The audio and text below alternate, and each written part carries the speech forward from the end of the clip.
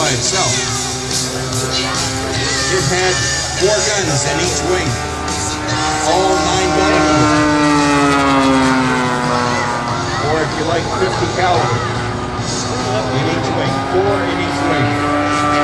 If there was a thunderbolt on your tail and you pulled the trigger, it would virtually shred your airplane.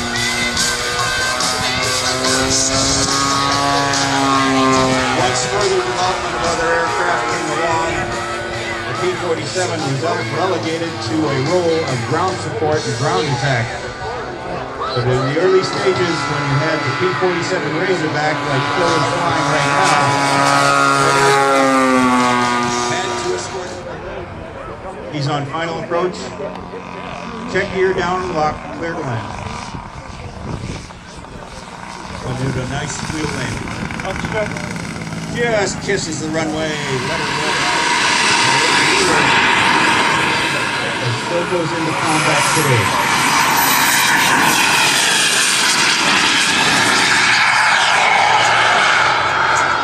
Gear up.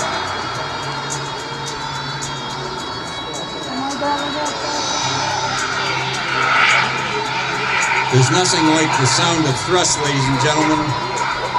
But a good announcer has to know when to shut up. And we have jet aircraft in the air, ladies and gentlemen.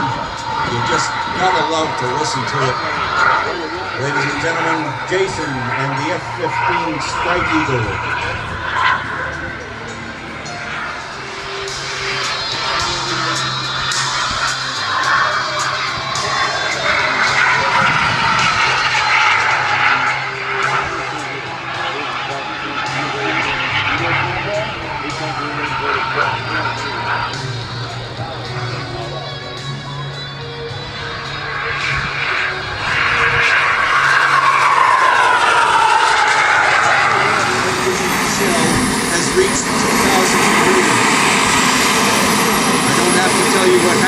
inside that turret at 2,000 degrees. When A-10's going to combat into a threat area, they go in in a, in a pair. They know that their tactical display tells them exactly where the threat is, and then going into the threat area, single leg just over the horizon at very low altitude. The other one will go into attack.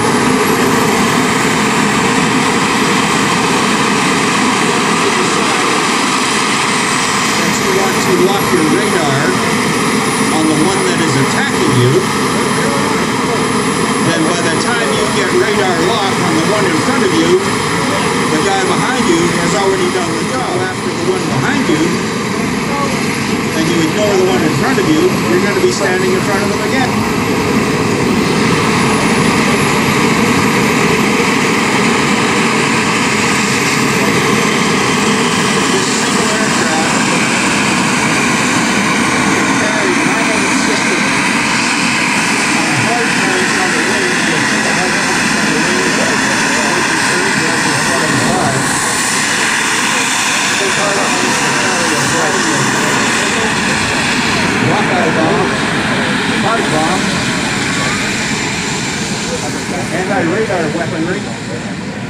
Sidewinder missiles. Whatever the operation calls for, they can rig the aircraft for whatever armament system is needed. It is a subsonic aircraft. It is meant to be a ground attack and ground support airplane, and as such, is a devastating weapon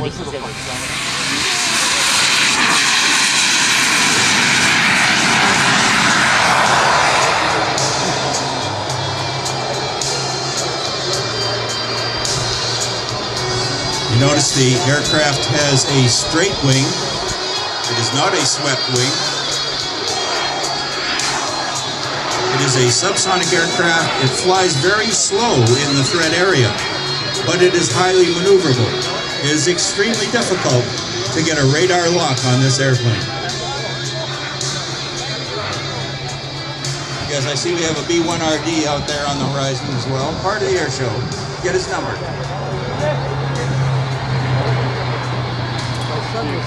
Greg Fushy now bringing the A-10 Thunderbolt 2 into Air Show Center, ladies and gentlemen. Another Kodak, Kodak moment here at Sanford.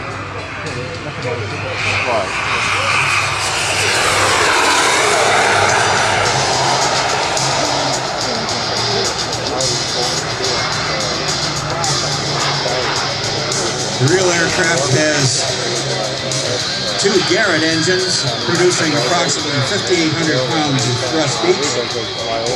More than enough to put this airplane into the air with all its weaponry on board. Will actually carry enough weaponry on board more than a B-17 during World War II.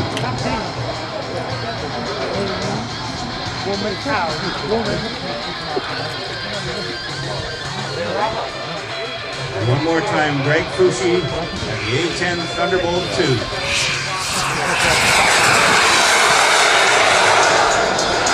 Told you it was maneuverable.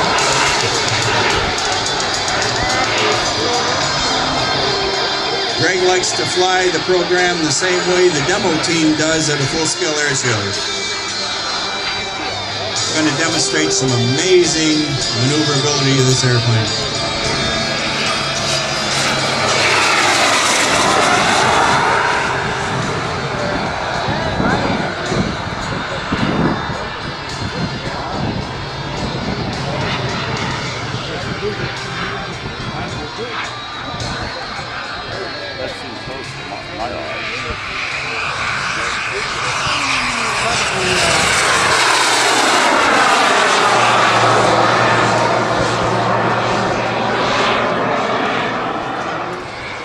Do believe we might see some actual tactical weaponry being used here today.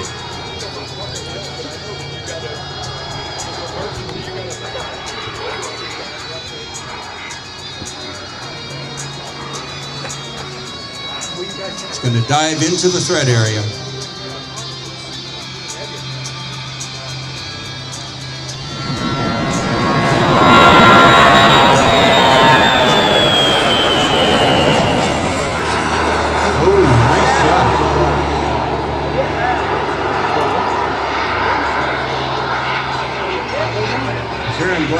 The soft out there.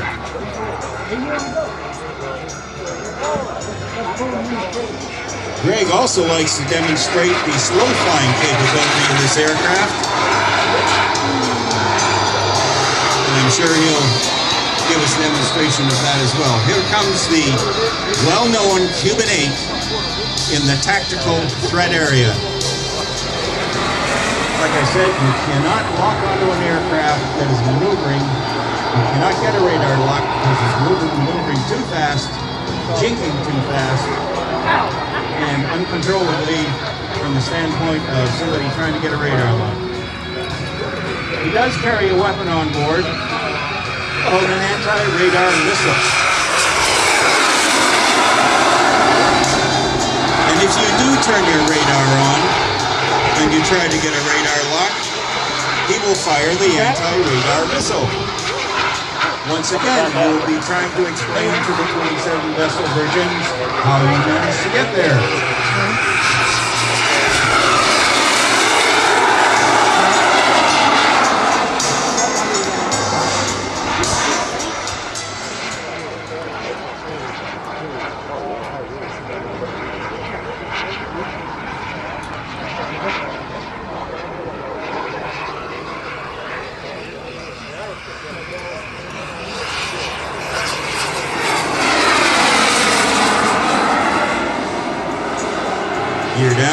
Setting up for his landing now, ladies and gentlemen.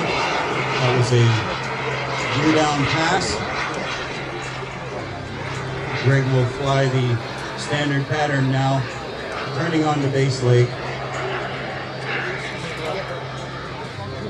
Now turning in into final approach.